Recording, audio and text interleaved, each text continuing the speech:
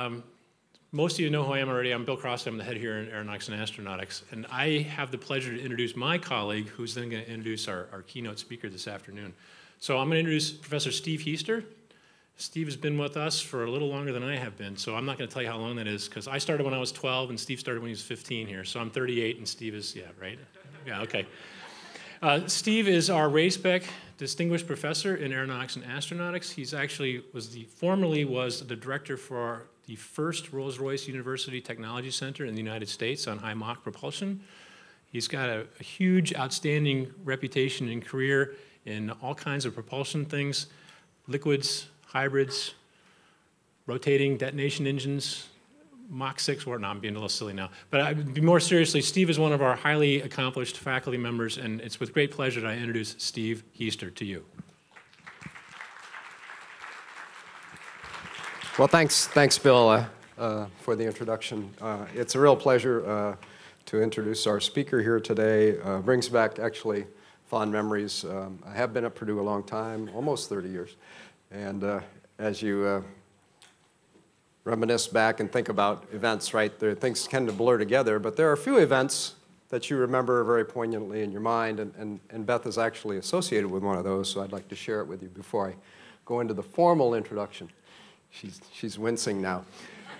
So, you know, we have evening exams uh, and uh, we have uh, alternate seating, so often we get placed in, in uh, rooms like these that are tiered and I, I hand out all the exams. And Beth always was, as a student, she liked to be in front, and uh, so she sat in front for the exam that evening, and I hand out all the exams, came back, and I sat down at the, at the main table, and I looked up, and the students were all starting to, uh, to work on their tests, and, and I looked over, because I was lower, and the, the students were a little higher, I looked over, and I saw Beth's feet, and there were two I think they were fuzzy rabbit slippers.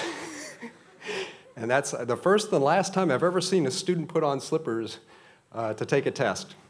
Uh, but obviously it worked for her because uh, she was a very good student um, and uh, I think uh, an incredible mentor actually and very appropriate speaker here today, uh, tremendously accomplished in the industry, uh, she had, uh, uh, you know, a very, uh, very, very good credentials here at Purdue, but I think more, more than that, she has the things that we don't measure very well in a university, the ability actually to listen and work with people and, and really understand the human dynamic.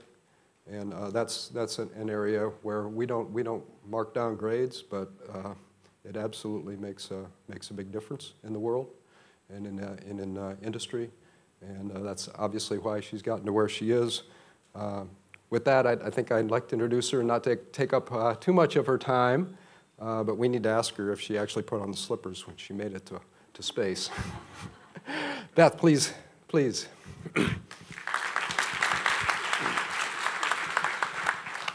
Thank you, Professor Heister. Okay, so this is the first test. Can you walk and chew gum at the same time? I, yes, I can walk and chew gum at the same time, but I have somehow a microphone, a few notes for one part of my talk, and a clicker. So just forgive me right now if I'm, you know, drop anything. Um, in fact, I may put the notes down for just the moment I need them. And I'm going to try the clicker in the right hand. Uh, okay, so Hello, I'm glad everybody's here. Thank you for making time to come to such an important summit on your weekend. And for those of you, anyone that came from far away, it's, it's great that you're all here. Uh, I'm going to give, I think, I think this is the industry keynote for this event, if I'm not mistaken. Arlie's shaking her head back there. Okay, great. Um, so I'm going to speak from an industry perspective. Uh, I am, uh, by way of introduction, my name is Beth. I was obviously a Purdue Aero and Astro student. I got my bachelor's and my master's here through the School of Aeronautical and Astronautical Engineering, and I uh, loved it when I wasn't hating it. I did wear lucky slippers to exams now and then for the, uh, the especially tough professors who gave especially uh, tough exams. Um, but I'm very, very grateful for my education, and I try to you know, give my time back to Purdue any way that I can, and I'm happy to help anyone associated with Purdue in any way that I can. Uh, I'm an aerospace engineer. I worked at NASA's Johnson Space Center on the International Space Station program for many years. And then when Space Station Assembly was complete, I looked around and the private human spaceflight industry was coming into its own. Uh, and I judged that exciting. Uh, so I joined Virgin Galactic. So I'm now an aerospace engineer at Virgin Galactic. I've been there for about six years now. I'm the chief astronaut instructor, which means I will train all of our customers, our passengers, to fly to space. It also means that I train anyone who flies to space in our cabin to test our cabin before we start commercial service. Uh, in that role, I trained our first astronaut who tested our cabin in space earlier this year, which was myself. I was a horrible student. I didn't wear my lucky slippers. um, I also had independent evaluators certifying me as ready for that flight, so I wasn't grading my own test in my slippers. Um, but I did fly to space uh, in February of this year to test our cabin so that we can make our way towards starting commercial service. So that's a little bit of background, and, and I'll take you through some more details. Uh, so I have a few slides, um, a video, a couple of more slides, and then, I'm, and then I'm happy to take questions. If I go too fast or you want to throw a question in the middle, feel free. This is sort of casual among friends, I think. At least I'd like to treat it that way. Okay, so, hey, I got it right. uh, so there are 573 humans, individual humans, that have ever been to space. I was number 571. 72 and 3 are currently on the space station. I like to joke that that makes me the newest astronaut on the planet. I'm the baby astronaut. Uh, you have at least one more sitting in this room right now, maybe more. Raise your hand if you've been to space. Oh, he, he took the bait. um, so my point is not about Gary or myself. My point is that that's a very small number. Uh, that's about twice as many, maybe a little bit more than twice as many as the number of people in this room. So think of yourself, put your favorite friend to your right, put your favorite enemy to your left. That's it. That's the total number of people that have ever been to space. Um, and our aim at Virgin Galactic is to massively increase that. We are not the only private commercial company working in this area. I'm obviously going to speak for Virgin Galactic today, but there are others that are striving toward that under different paradigms, fully private, public and private, uh, NASA contracts, billionaire funding. Uh, Blue Origin was on the panel earlier today. I don't know if Yen is in the room. Ah, hello. um, and also Boeing Starliner and SpaceX Crew Dragon are about to become human-rated systems. Uh, human spaceflight is expanding beyond the, the, traditional government role right now, and it's an exciting time to be in the industry. And we are all trying to increase this number. Uh, so at Virgin Galactic, we have a spacecraft, Unity, that's hanging from a catamaran-style mothership, White Knight, and our founder is, oh my gosh, this is weird. There are two, it's like stereo up here. Uh, pick whichever screen you want to focus on, but our founder, Sir Richard Branson, is the blonde haired man in the middle of this shot. Uh, we have over 600 customers that have already purchased tickets to fly as uh, customers, tourists, on our spacecraft. Uh, they're waiting for us to start commercial service as we finish up testing. There are already more people ticketed to fly to space total than have ever flown before. That sort of says something. Uh, and this is probably the tip of the iceberg because, you know, our commercial director gives talks and asks everybody, who wants to go to space? So I'll ask, who wants to go? And immediately many hands come up. So we, we hope and we think and we really sort of feel in our hearts that this is the tip of the iceberg for, for not just our company, but all companies. Uh, so, so where are we on this? Uh, let me give a few stats, and then I'll show the video next. So forgive me, uh, because I am deeply respectful of the programs that have come before that have enabled this program, and I am massively cheerleading all the companies that are trying to do this, and the companies like Blue that are just about to reach this as well. But we are sort of standing at a strange for me, awkward moment in history because I'm about to read a bunch of stats and it's going to sound like an I love me page. I am deeply respectful of the past and the future, but we're also lucky to be standing here. Where are we in this particular program, Virgin Galactic? Uh, in December of last year, December 13th, Unity reached space for the first time on a test flight above Mojave Air and Spaceport in California. Two of our pilots, our test pilots, uh, Mark Forger Stucky and CJ Sturckow, retired shuttle astronaut, piloted Unity to space. So that made Unity the first commercial space vehicle to put humans into space, and that was the first crewed space launch from US soil since the shuttle was retired. The government gap has not been closed, but America has returned to launching humans to space from American soil. We did that last year. So thanks, America. um, then, 10 weeks later, we repeated that on February 22nd of 2019. Unity flew to space again. This time it took a crew of three, two pilots, Dave Mackay and Mike Masucci, and one test engineer. We learned enough on the December flight to realize that we were ready to start testing the cabin. If my pilots were here, they would make the pilot joke of, well, the mannequin that flew in December, we just swapped that dummy for another dummy and put Beth in the cabin. so I strapped all the sensors on and, uh, and had a timeline and uh, executed a test in the cabin. Uh, and it worked. Uh, the idea was to fly to space, unstrap, take ratings, take data, execute the systems for our customers, at least the initial systems. Uh, and we hoped that conditions in space would allow me to safely unstrap. We didn't know until we got there, uh, but, it, but they did. so I was able to unstrap. So on February 22nd, 2019, three of us flew to space. I unstrapped, I did my test, I strapped back in, uh, and, and that, that means the following are somehow amazingly true. uh, it, that was the, or I was, I was, the first non-pilot crew member flown on a commercial space vehicle. That means the first passenger on a space vehicle. I was doing work, but first time someone's flown a passenger to space on a commercial space vehicle. Also, the first one, flown above Mach 3. The Concorde didn't go to Mach 3, but humanity has now reached a point where a commercial vehicle can fly someone faster than Mach 3. That bodes well for fast transport in the future. Uh, I was also the first non-pilot crew member to unstrap and float freely on a commercial space vehicle. Uh, also the first one ever to unstrap and float in weightlessness on in a suborbital spaceflight. None of the other suborbital astronauts had ever done that. They were all strapped in flying. um, and this next one, we don't, we don't talk about it right down, we Virgin Galactic, but I'm gonna guess that history is gonna show this next one is meaningful in some odd way.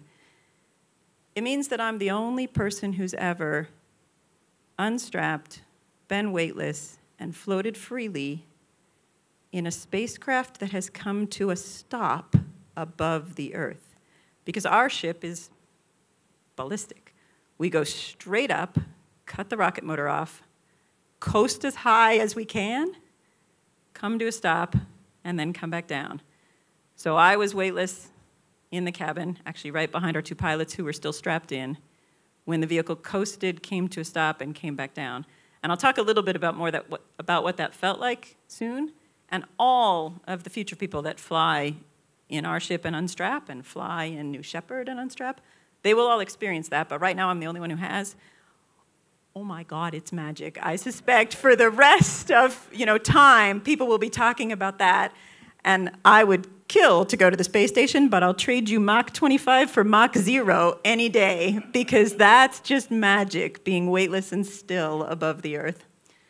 Uh, so that, that's probably my whole speech right there. But anyway, I have, I have charts on that later. um, so that was February. Uh, so this is sort of a, a moment in history. Uh, so now, you know, what's happened since then? Now what, what's going on? What are we doing?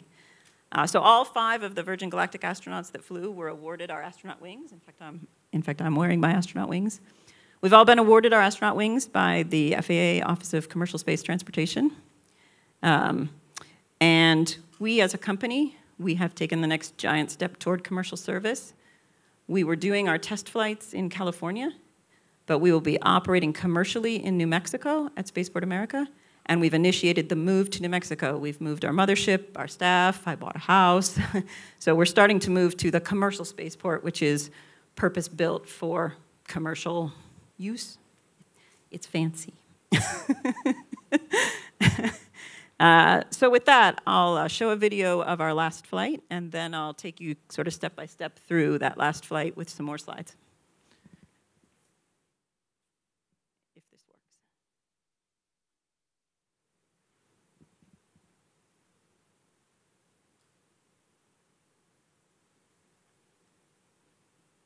Nope. Well, there was a video on that black screen. Did you all catch it? Let me see if I have to initiate it from the laptop. Just a moment.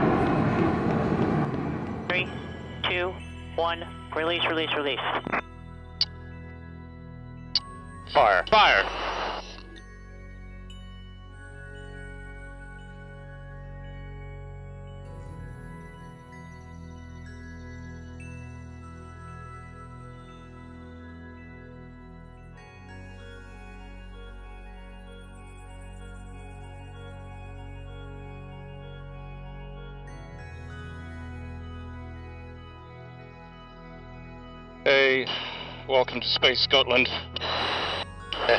Congrats, Steve. Welcome to the club, astronauts. Thanks, Space. I like, I like this club.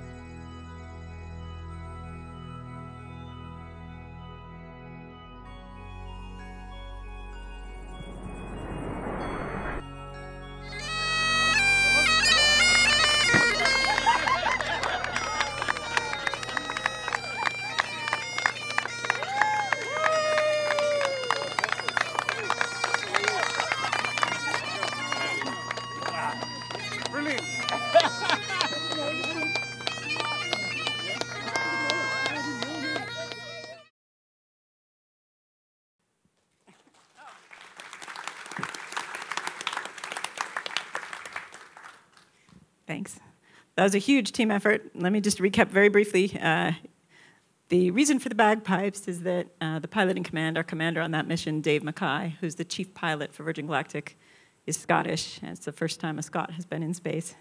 Uh, the, um, the right seat pilot, Mike Sooch Masucci, Sooch, he's our lead trainer pilot. Uh, the pilots train themselves using White Knight and Spaceship. And then our chief astronaut instructor was conducting the test in order to train our customers in the future. That was obviously myself. So that's who you saw in the video and the flight you saw. Uh, so I'll take you briefly through the beats of the flight. I am sure you are all going to be, you know, engineers, scientists, poets, explorers, ticket holders, I don't know, but come, come to space with me. I'll tell you what it would be like. Uh, you would start, if you came on the Virgin Galactic uh, you would come to New Mexico, let's say over a weekend, and you would have three days of training followed by space flight on day four. And you would do that here at our facility in New Mexico. This is Spaceport America. You can see on the right really, really large hangar doors. Uh, the spaceport is built for two motherships and five spacecraft. You can see mothership and Unity spacecraft in the foreground here. And then on the left, your left, you can see basically three floors. Uh, the first floor is kitchen, barista, friends and family area. This is where your friends and family would watch you fly. The second floor is operations, mission control. It's where my desk is now. Uh, and the third floor is customer training and medical. So you would train there. And then on day four, you would board Spaceship Two, which is the one in the middle.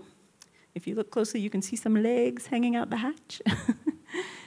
uh, in the morning, And I would strap you in, and your pilots would strap into the cockpit. And then takeoff is very much like a conventional aircraft. It's a runway takeoff. Um, it doesn't feel especially fast or slow. It just feels like a runway takeoff. But White Knight is a high lift mothership. The, uh, the angle of climb is fairly steep coming right off the runway. So in the back, you, you know the moment of wheels up and you're tipped back. Every seat has a window, private window. Every seat is a window seat and an aisle seat. there are six in Spaceship Two. Uh, so you have a window next to you, and you have a smaller window above you. I like to joke that it's your own sunroof, but you can't open it. um, and then uh, the cockpit isn't sealed off. You can see and talk to your pilots, and you're on comm. So I'll strap you in, and we'll do comm check, and you make sure you can see, see and hear everybody else in the vehicle. You'll take off. Uh, then you'll climb to 45,000 feet. And the White Knight pilots, so there are two pilots in the right hand fuselage of White Knight, two pilots in spaceship, no pilots in the left, nobody in the left hand fuselage of White Knight. Uh, the White Knight 2 pilots will say 3, 2, 1, release, release, release. And then spaceship free falls from White Knight. From your seat, you feel a free fall. Uh, I was highly trained. Uh, it's a three second free fall. It felt like about three times that. There's a little bit of time dilation because you're really hoping the rocket motor lights. It, it does, it's reliable. But you're, you're, you're eagerly anticipating your ride to space. You're like, come on, come on. uh, and you can see White Knight sort of out your window, heading up. Uh, the rocket motor lights three seconds later. It's actually very smooth. It's loud, but smooth. You know it's lit, and you're pushed back in your seat. Um, you go zero to 60 in less than a second, 0.8 of a second. You have no clue that you've done that, but you do know that you've gone supersonic eight seconds later because your pilots are calling Mach cues to each other. So in my case, Sooch was calling out Mach numbers. Uh, so you hear Mach 1 and you know you're going fast. uh, and then the pilots trim, pitch up to space. Um, and you feel that. So you're initially accelerating, you get pushed back in your seat about three and a half G, and then the pilots turn towards space, which pushes you down in your seat about three and a half G. You can see that turn to space, the gamma turn. Oh, the rocket motor has lit. and you can see that turn to space. Uh, here, you can see the plume from the hybrid rocket motor. Uh, during that turn uh, to space, you're at an altitude where the sky outside has gone purple. It started blue, it's about to be black, it's gone purple, and you're compressed in your seat. My overall impression of that gamma turn was uh, it lasted a little less than two breaths. It felt compressive, but more than feeling it, which I was trained for, I sort of sensed it as a purple murky time frame. So there was two breaths of purple murky, and then you're flat on your back going straight up where you want to go. uh, the rocket motor fires for 60 seconds. This is a view of our tail cone cam looking aft down at the Earth. So this is 60 second rocket ride. Uh, you can see the Earth below, you can see the snow, you can see the mountains. It's a smooth motor. You know, you're not sitting there chattering. This is one of the things we were testing. The dummy that flew before me was totally outfitted with vibe sensors, and we didn't expect it to be vibrational, and it wasn't. Um, but it is, you know, increasingly faster and faster. Uh, you can't see, well, my pilots flew so true that there was no wobble. I couldn't ever see the horizon out my window. It was just a black window and increasing to Mach 3, feeling pushed back in my seat, and continuing to be glad that we were going further up. In fact, I told my pilots before my flight, you can hear a pin drop in our mock up. I kept saying, even without comm, they'd be able to hear me. Well, they land and they say, Oh, we're surprised. We heard you say up, up a few times. Yes. you just keep going straight up. Uh, it's, a, it's a great ride. It's a really great ride. Um, so then, after 60 seconds, the rocket motor cuts off. You don't lurch forward into your straps, although you do know that the rocket motor is cut off. It's suddenly silent. You suddenly feel still in your seat, and you're weightless. Uh, for my test, since it was the first time anyone had done this, we took some time. Um, the pilots first judged that the vehicle was safe, there were no anomalies occurring, the rates were stable, and cleared me out of my seat. Welcome to Weightlessness, Charlie, you're clear to unstrap. And then I independently, as the first evaluator of the cabin, made a quick scan of the cabin and the rates and my own condition and judged myself as safe to unstrap and the cabin as a safe test environment and unstrapped. Uh, all of that happened in microsecond. Uh, but you unstrap and you don't float up in weightlessness. That's a common misconception. Um, if anyone's done parabolic flight testing, some, we've had some Purdue students do parabolic flight testing. Uh, weightlessness is the same, whether it's space or parabolic flight testing.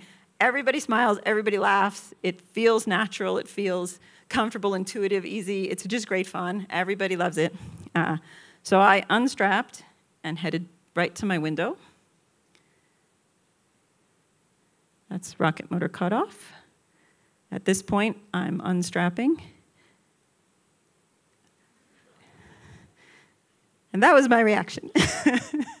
I think someone earlier today mentioned on, the, on our panel, mentioned this photo.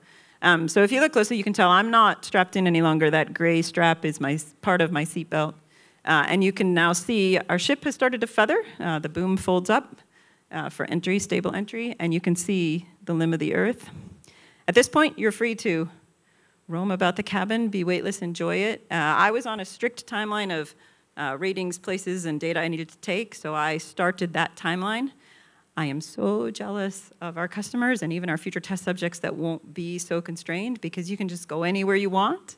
I figure folks will, you know, immediately look out the window and then high five each other and then hugs and then tumbles and whatever you choose to do, uh, we'll, we'll, you can enjoy and we'll work out all of that in training. If you want to tumble through the middle of the cabin and you want to go to your window, you know, we'll work out how to do that.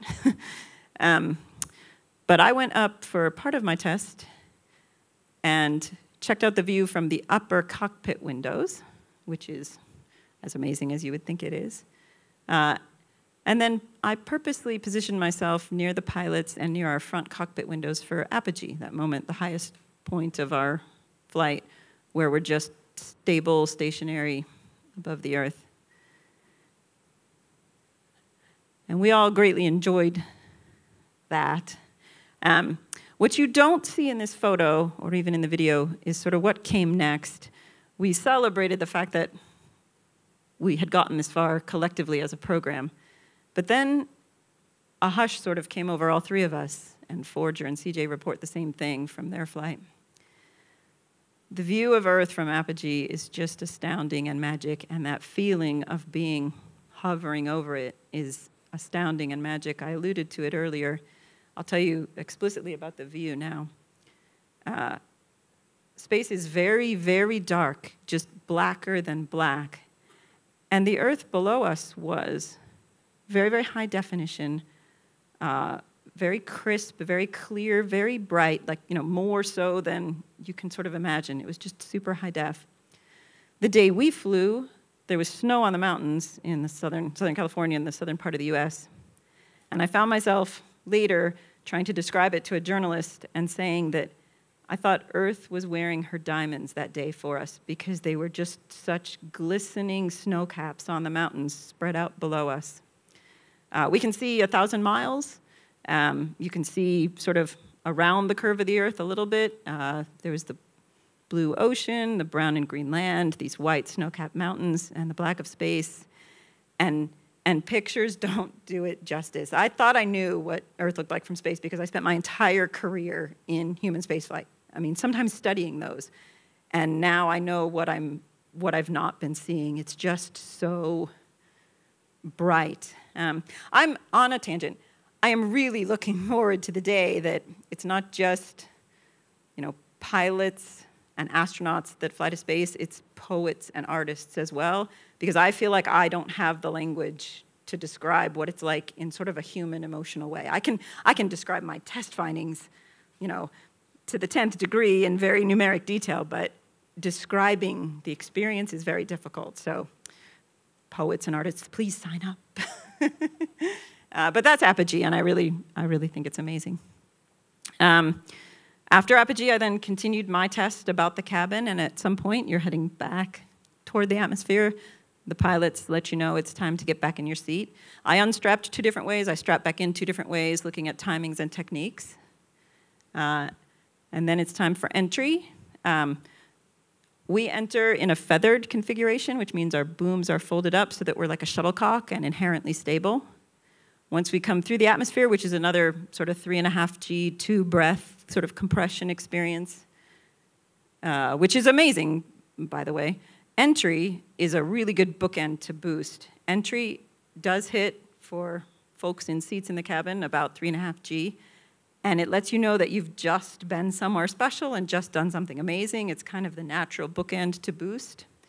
Uh, but then uh, the pilots defeather the ship. It goes back to a glider, and you glide back to land on the same runway you took off of for a big Virgin style party at Spaceport America. And so that would be your flight.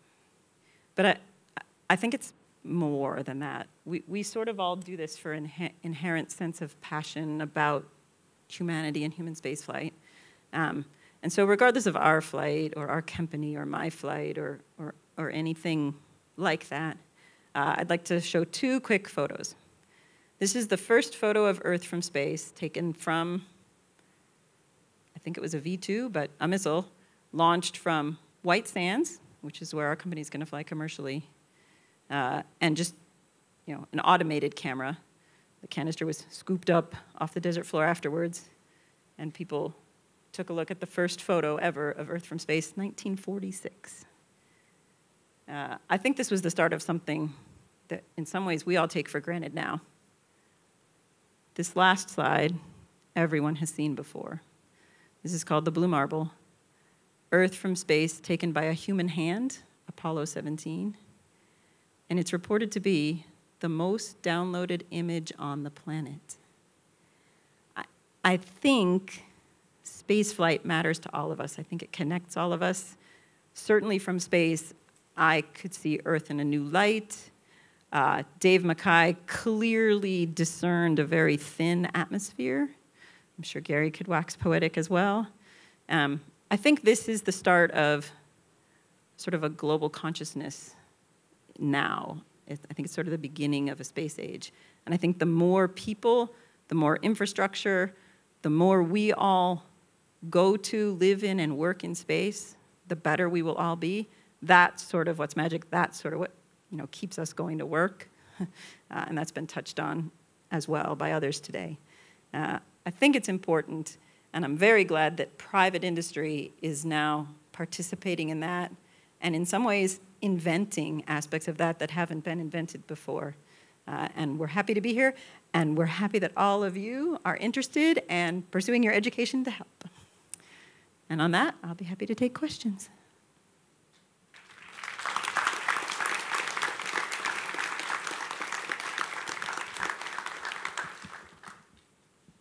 Oh, no. you can ask a question as long as it's not about slippers. All right, Professor Heister, Stephen Heister has the first question. So did you, you said monitors, did you have a heart rate monitor? I did, how, yes. How high did it get? Um, it went no higher than it had in high G training before. I want to say about 130 beats per minute. Is that a, would that be a, that's about a right number, right? I should know that. Our, our docs were perfectly happy. They said it was in the normal band. I think Armstrong's heart, heart rate was 150 when they landed on the moon. Well, he wasn't as cool of a cucumber as I was. I know it didn't hit 150. I want to say 130. Oh, due respect to Neil. That was a joke, obviously. Gary did say he was working at the time. I just all, just just saying. Neil was working very hard. Yeah, I was too. But I I know I I know.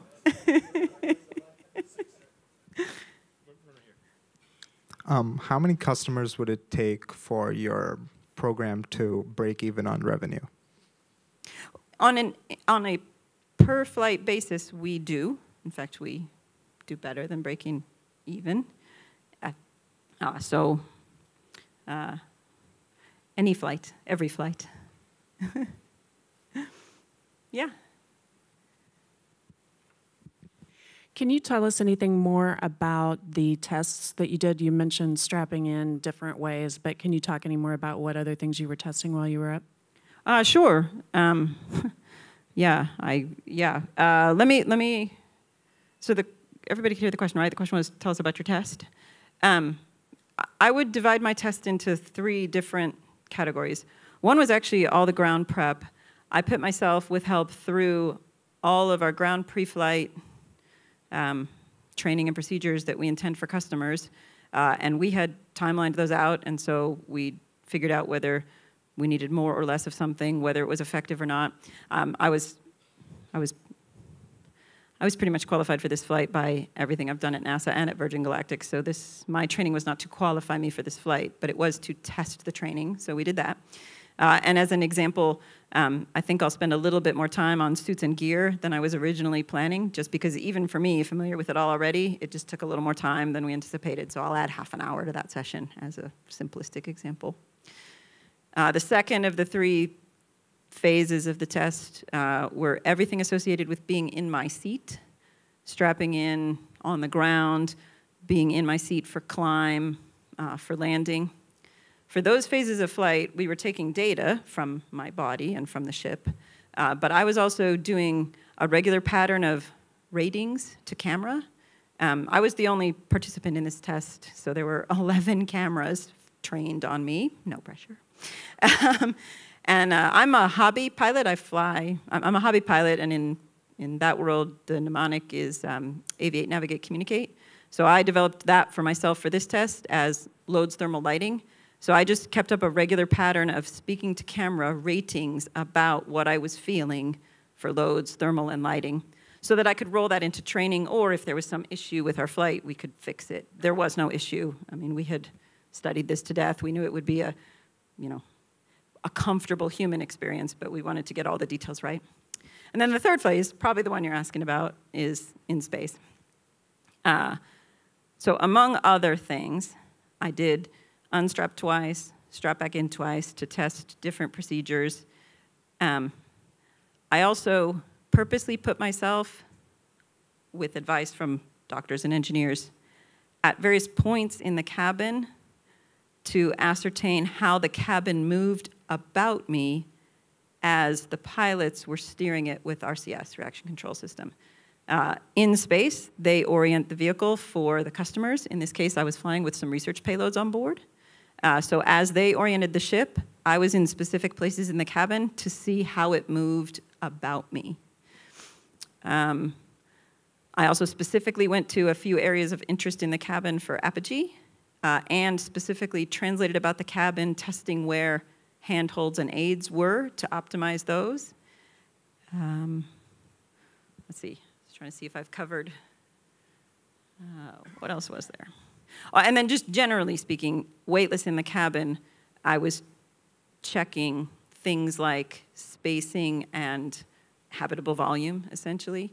Uh, it was funny. I'll tell a bit of a joke, I guess. We um, we had NASA Flight Opportunities Program research payloads on board with me. We started this test earlier than we anticipated we would in the overall test flight program because all the data from the previous flights was so promising.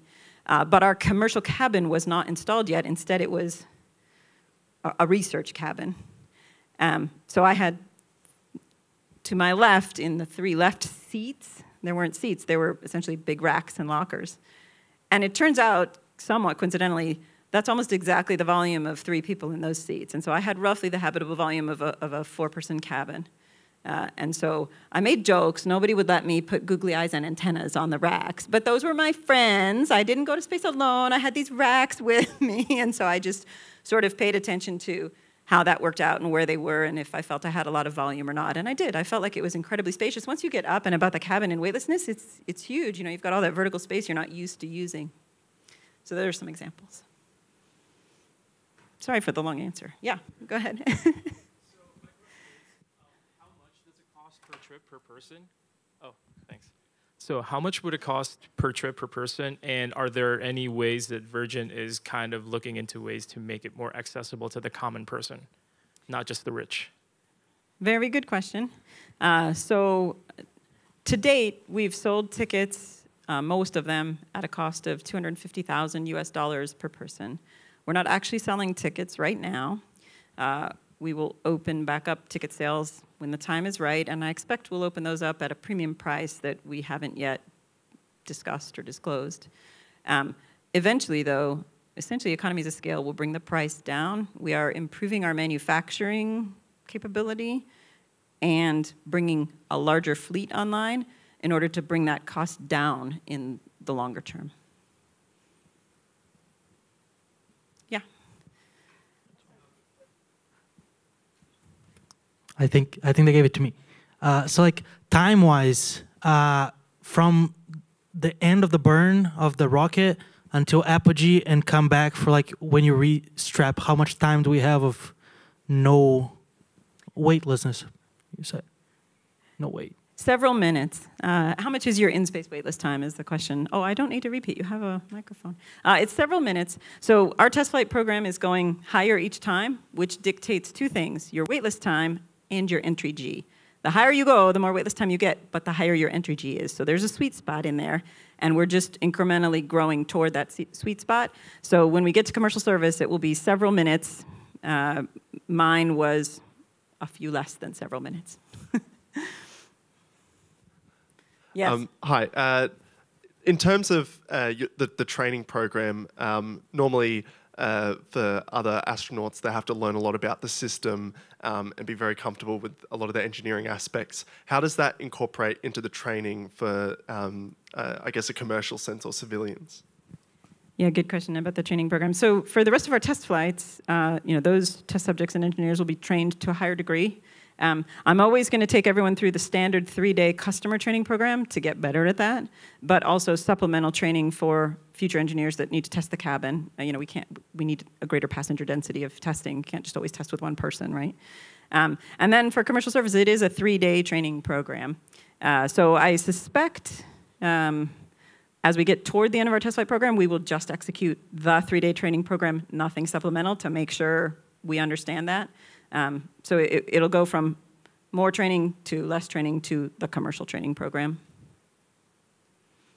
Next question.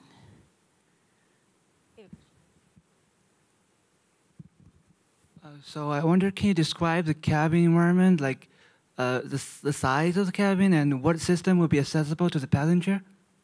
I can. Um, the cabin, so there are two pilots in the cockpit and the cabin is set up for six people, uh, you know, three along the right side and three along the left side.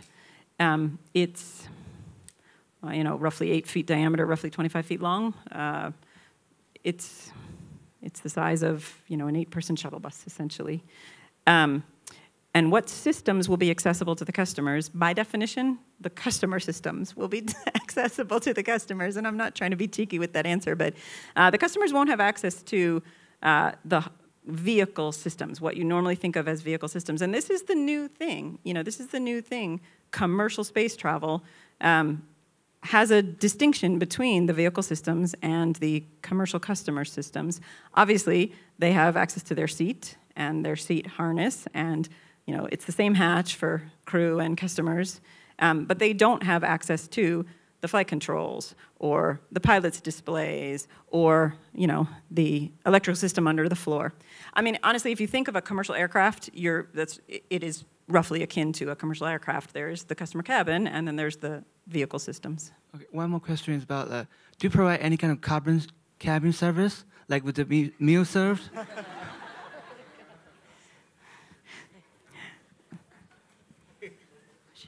no.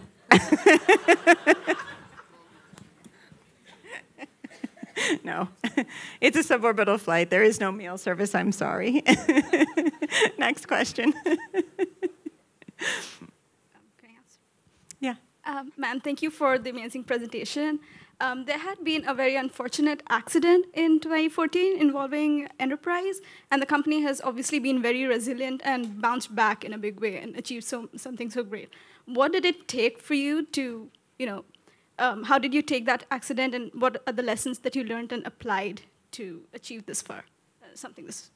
Uh, yeah, obviously resilience is key. Um, I mean, the biggest thing that occurred after Enterprise's flight uh, was that Richard Branson and his family doubled down and declared that they would continue this program and continue to fund it. Um, that, that's, that's the big takeaway is keep going. Obviously, there were technical reviews. Uh, Enterprise was being flown by Scaled Composites, a vendor at the time. Uh, after that, we, Virgin Galactic, we took all capabilities in-house uh, and vertically integrated the company, essentially, so that we could revise systems and procedures and practices wherever we needed to in order to overcome uh, anything we found. Um, so we have done that. We've demonstrated successful test flights. We are on our plan, and I am personally exceptionally grateful for the persistence of the Branson family to keep going, to improve, and get us to this point. So I have two questions. The first one is you mentioned that you're gonna fly. You flew with uh, scientific payloads. Is this something that is gonna keep going on your company and it's gonna be accessible? Uh, yes, we offer a research platform for suborbital research. We are continuing to discuss, we, we have NASA flight opportunities as a customer. They will fly future NASA flight opportunities research payloads, ironically in shuttle mid-deck lockers, in racks in our vehicle. um, the, uh, and then we are, uh, you know, our, our, system can be flown from most anywhere. Uh, so sort of the future's unlimited in terms of who can do what kind of research on our vehicle. We're in discussions about that, uh, but certainly we know we'll be flying NASA Flight Opportunities Program research payloads.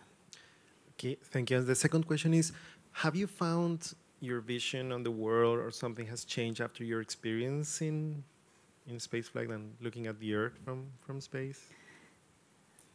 Somewhat. Um, that's a tricky question. I am changed definitely, after having flown. Um, and that's evolved over time. I flew, you know, several months ago. Uh, sort of the first thing that happened is we were all extremely relieved that we had made space and taken, uh, you know, a test cabin engineer to space, um, because that's what the whole company had been striving to, to since the day it was founded.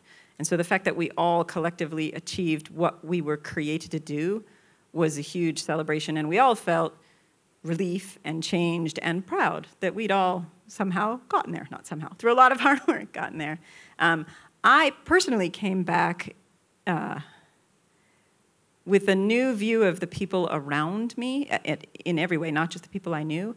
I honestly now sit through meetings, and if somebody's being a jerk in a meeting, I don't really care. I'm kind of like, eh, we're all just humans on this pretty planet, and I think of you know Earth's diamonds, and I'm like, eh, it'll be fine. Um, I mean, really, maybe those that know me well are grateful for that. I don't know, but um, but um, but honestly, I mean, if really honestly, if somebody's being a jerk in a meeting, it doesn't matter. It really doesn't matter, right? You know. Um, but then in a bigger in a bigger way, um, I feel. I still feel what I felt, and I still, you know, on my deathbed, I will feel that way and it's emotional. It's not just what I saw or, or, or how I physically felt being weightless. I'd been weightless 600 parabolas before that. Um, it does sink in, it does transform you. I haven't figured out what that means. I mean, I'm, other than, you know, speaking to people and encouraging them and being nice to people in meetings and knowing that it means something big, I'm sort of still on all my post-flight activities. Like I haven't taken a vacation yet. I do wonder when I finally take a vacation and go sit somewhere for two weeks, like how it's going to hit me. I, I, don't know yet, but definitely every and and you know everyone that's ever been to space sort of reports a similar thing. Uh, Gary's nodding his head. Yeah. I need a poet to answer that question. Did I say I was a pilot? Yes. Um, I'm a private pilot. Thank you to Purdue. I got I went through ground school and flight school here because the School of Aero accepted it for graduation credits, and I always wanted to fly. Um, so I have a couple of hundred hours in low-wing trainer aircraft. I, I, you know, at work we have professional pilots that are top of the top. I am not a professional pilot. I am a hobby pilot. But yeah, I have a couple hundred hours. I love to fly. I fly Grumman's every chance I get.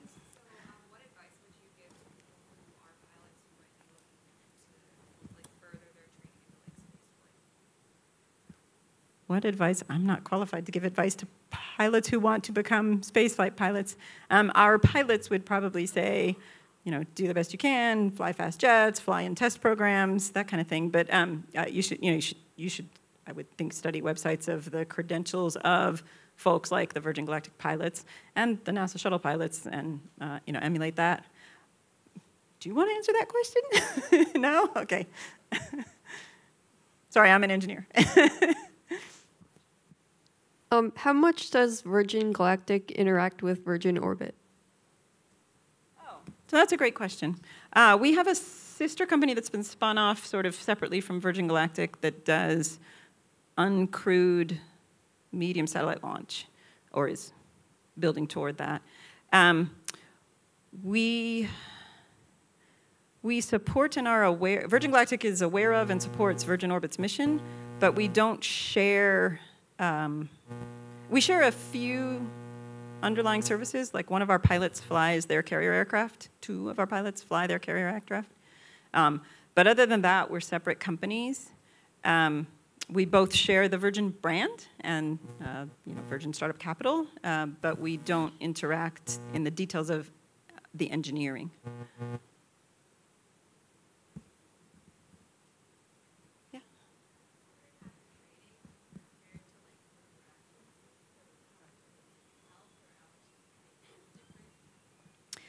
Uh, so since you didn't have a mic, how did, how did, how did my training compare to my actual space flight? How much of it helped? How much of it didn't?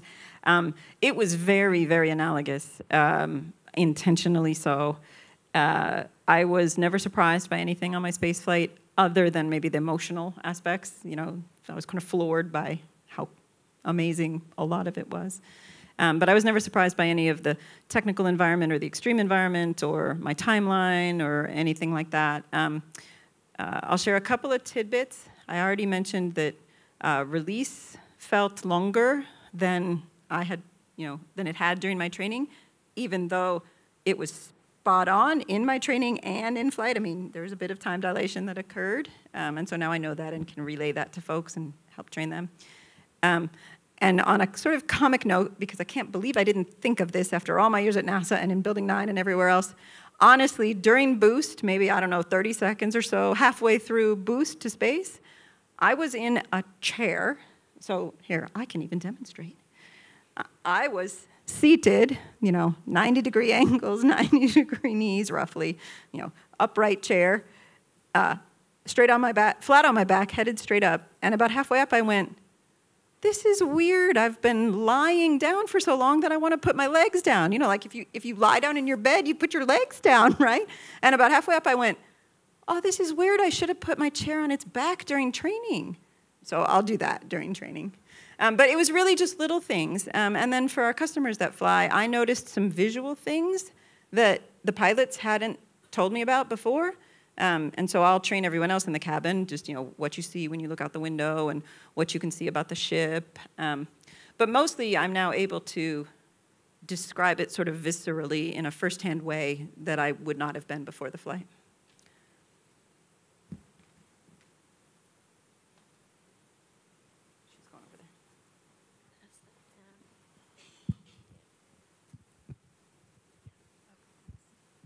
Um, how long did the process take from when you strapped in on the ground and then you went up and then landed again? Like, and did Oh. you have to go to the bathroom? That's what I was wondering.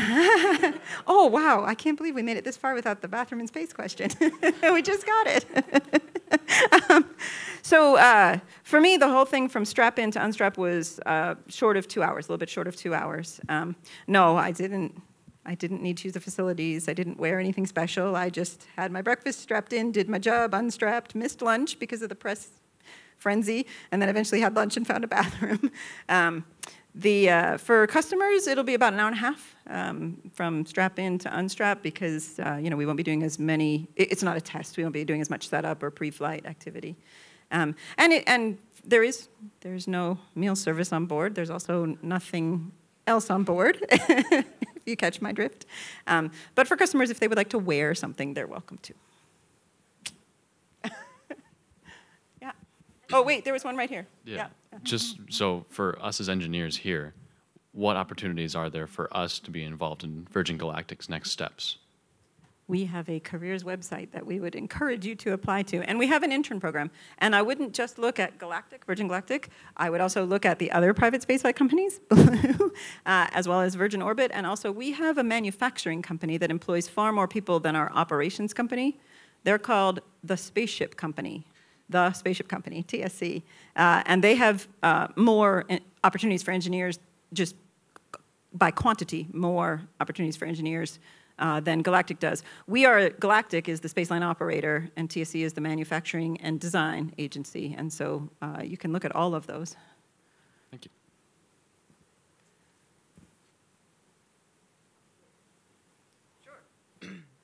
Um, I was just wondering, I guess, like, what is Virgin Galactic's next steps, and like, what does your timeline look like? Great question. Uh, we are going to finish moving everyone to New Mexico. I mentioned that I already started moving. And we're going to move our spacecraft, Unity, to New Mexico. It's currently finishing its outfitting in California, getting its commercial interior installed so that people don't have to fly with payloads like I did. um, uh, and then once we get uh, everything set up and operational in New Mexico, we'll have a few more test flights. Um, but the big next thing is starting commercial service. I am dying to bring this to everyone, especially to Sir Richard, who you know, started this and has been so patient. Um, so the next big thing in my world is to start to do what I hired on to do, train people to fly in the cabin. I have only trained myself. That's a poor man's job description, right? Uh, so I'm very eager to train the rest of our cabin evaluators, and then Sir Richard for the first commercial flight, and then all of our founders, which are our early customers, and uh, and the rest of our customers. We'll start commercial service uh, next summer. Next summer. What other companies are out at Spaceport America, and what, what are they doing, if there are oh. any others? What other? That's a great question. Um, so Virgin Galactic is the anchor tenant at Spaceport America. Uh, we occupy the hangar that you saw.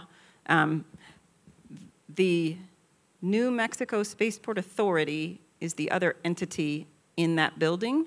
They occupy a small part of it um, for uh, field trips and tours and inspiration. Um, those are the only two entities that operate in that building you saw. Spaceport America has a vertical launch facility and host, hosts events.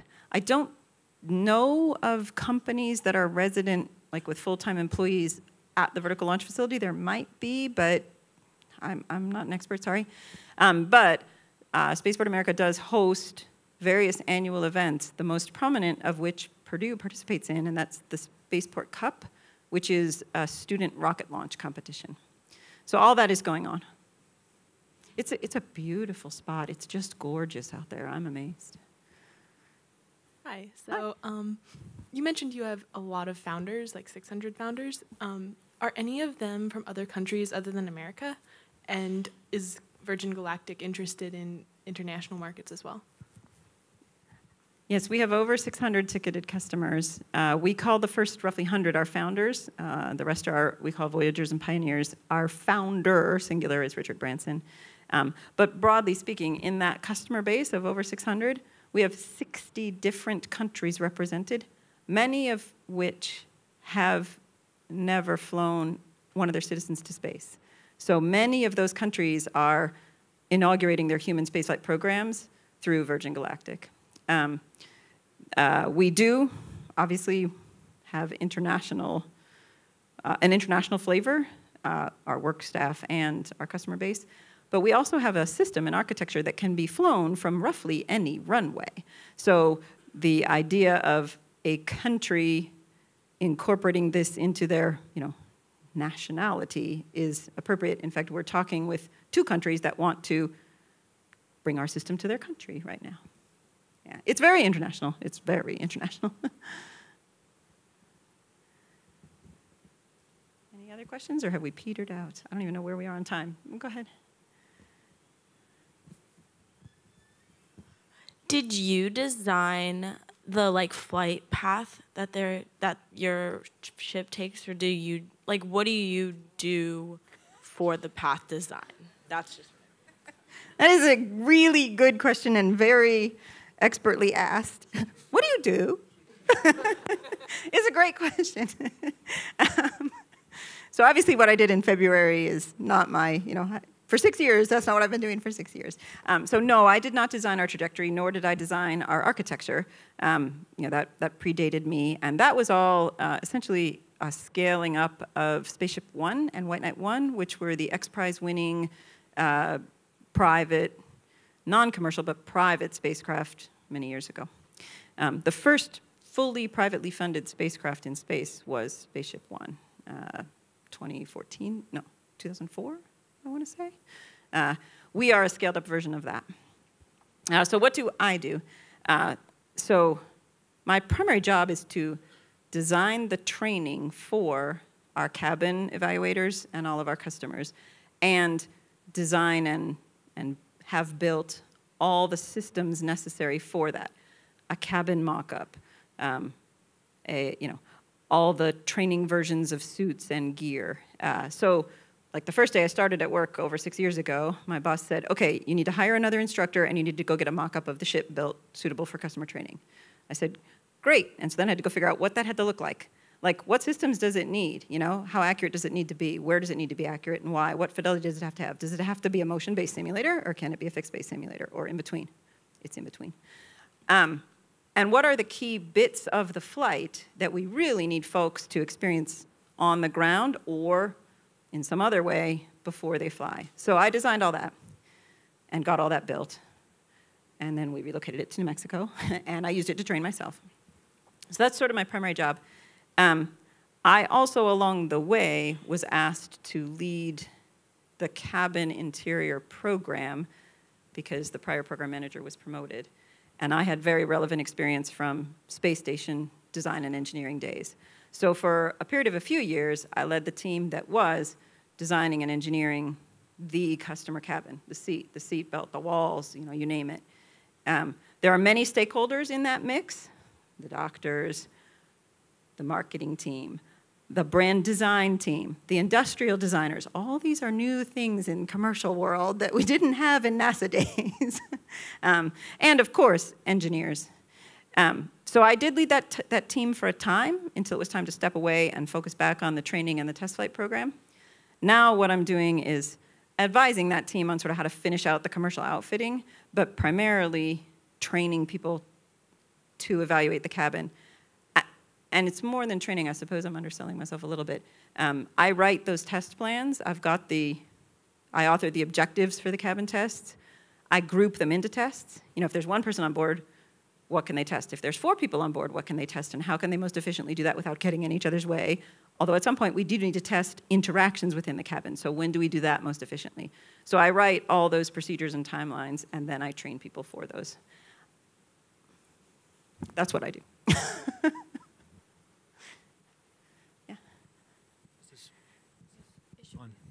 Um, so it looked in the pictures like it was a, a shirt sleeve environment. Is that is that going to continue to be the case once it becomes operational? Yes, it is a shirt sleeve environment. Uh, our our suits are not pressure suits. Uh, they are Nomex, but they're not pressure suits, and that will continue in commercial service. I think we have time for one more question.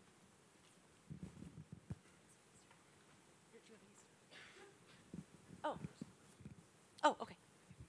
Um, so I was curious about previous. You said you're you're an aerospace engineer. Um, what particular skills or experiences helped you come to the position where you were doing, uh, like actually going into space and you know getting to be that test engineer spot? Uh, well, so the things that qualified me to be assigned to that flight were essentially all my extreme environment test experience from my NASA days and my Virgin Galactic days. Uh, I had over 600 parabolas doing research and testing of hardware at both NASA and Virgin Galactic in six different types of parabolic aircraft, plus thousands of neutral buoyancy dives at different pools around the world, and the design of those tests, plus a whole bunch of chamber B and glove box and a whole bunch of extreme test environment experience. Plus, also, as the chief astronaut instructor, it makes a bit of sense to make sure I can instruct from a first-hand basis. But um, I, would, I would say my test engineering experience is what primarily qualified me for that flight. Well, thanks, uh, uh, Beth, for uh, the wonderful presentation and the answers the questions. Uh, I think we're wrapping up here. We've got a coffee break and a social session here or networking session. Next. Thank, thanks again, Beth. Thank you, everyone. Thank you.